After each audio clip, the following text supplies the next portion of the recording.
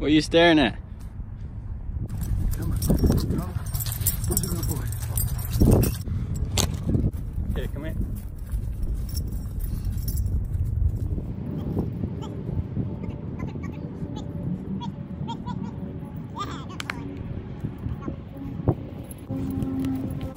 Yeah, good boy.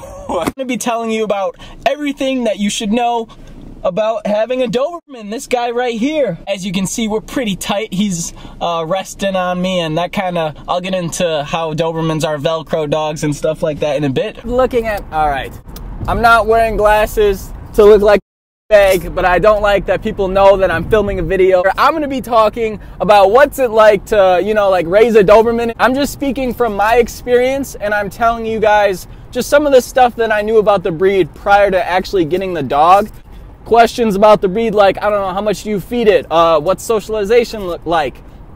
And anytime someone asked me a question, I just knew the answer plus more. So I figured I could give you guys some valuable information. So let's get started. Um, the first thing that you should know about Dobermans is that they're, they're a working breed, like German Shepherds, um, Belgian Malinois. I always say that so weird. I hope I pronounced it right. Um, Cane Corsos. You guys get the idea. What a working dog is, is this dog needs a job to do. Um, Australian Shepherds, they, you know, sheep, dogs, I'm pretty sure um, you know, like how they have uh, in you know how in movies they have like the dog chasing the sheep and like hurting it. That's what a working dog is. That dog has a specific job to do, and uh, yeah, and they that's how they get their energy out. So that's what a Doberman is. You know, means is that he needs to have some outlet of all that energy that he has. And even though he's not a puppy anymore, Dobermans are pretty much puppies their whole lives because they're just always so willing to please, um, and you have to know that. And that kind of leads to my next point, which is they're a Velcro dog. Wait, oh God. what are you doing? Look at him just chilling. He, he came here all by himself. My king, my soldier, the Cybermatic Nation president. You're our Cyber Nation. Hey.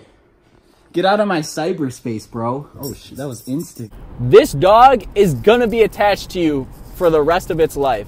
When I first got cyber, I had this picture. I, I hope I can find it. They got wiped from the iCloud.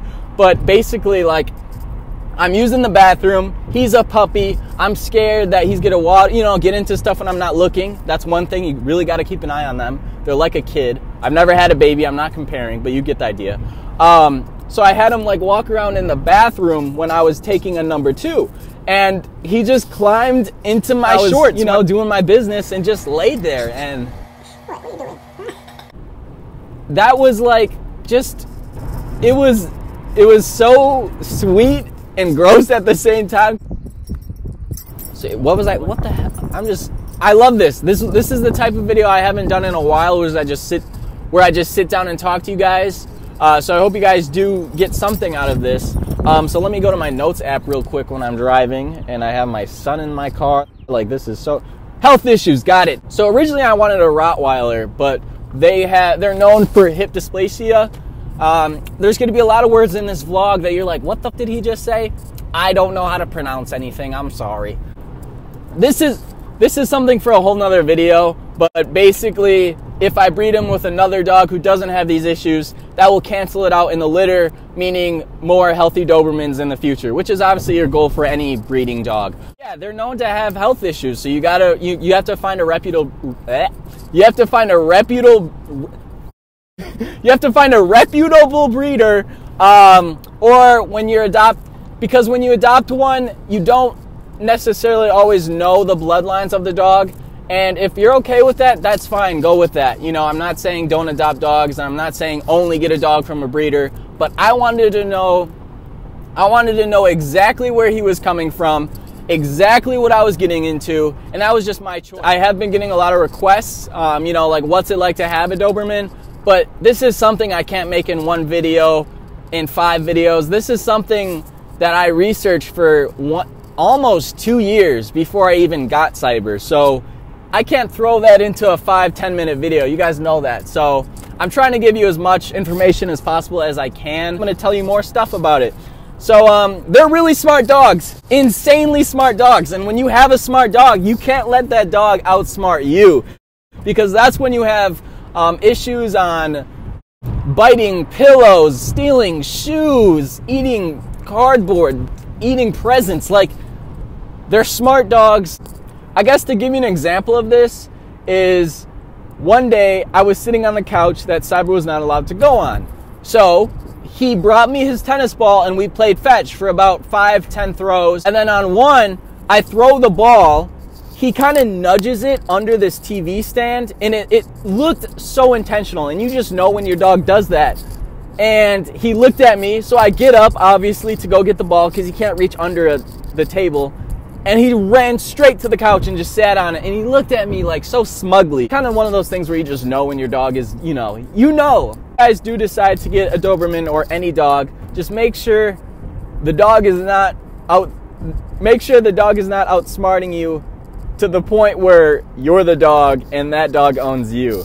Been- All right, guys, like I mentioned earlier, I'm probably not going to be able to fit everything in this video, but the last thing I kind of wanted to touch on, because this is a whole nother video, is ear cropping. It was obviously a controversial topic, and uh, I don't know if you can tell, but if you go through the comments on the first video we made, there's a lot of people being like,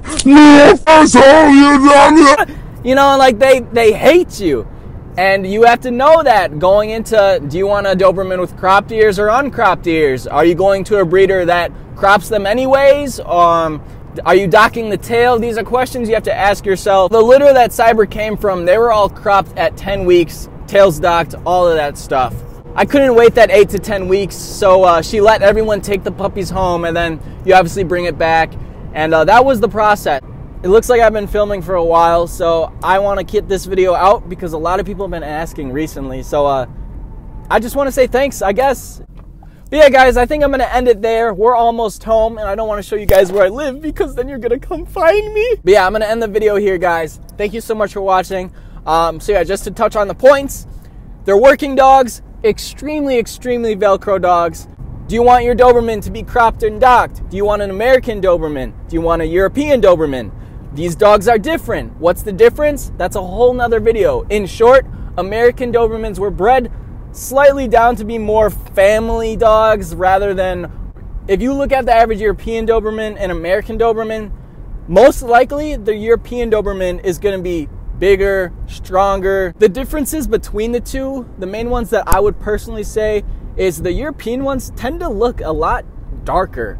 Um, Enzo, the original stud dog I was going to have, which is not from Cyber's bloodlines, um, he was a dark, big, huge paws, just beautiful, beautiful Doberman. Not to say Cyber's dad isn't, um, but you can just tell it was, you know, Amer- European Dobermans tend to be more suited for pure working dogs. You know, they hustle way more energy than American Doberman might have.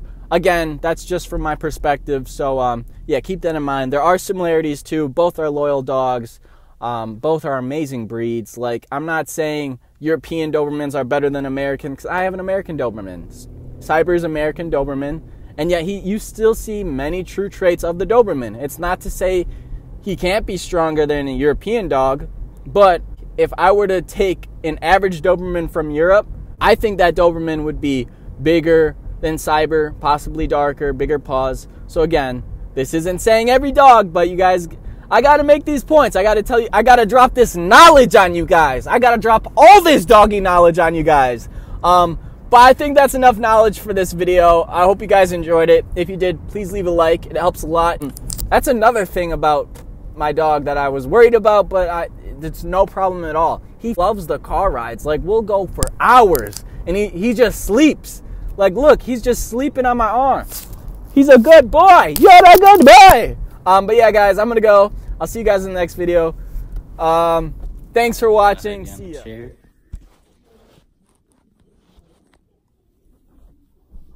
All right. Ready? Yeah.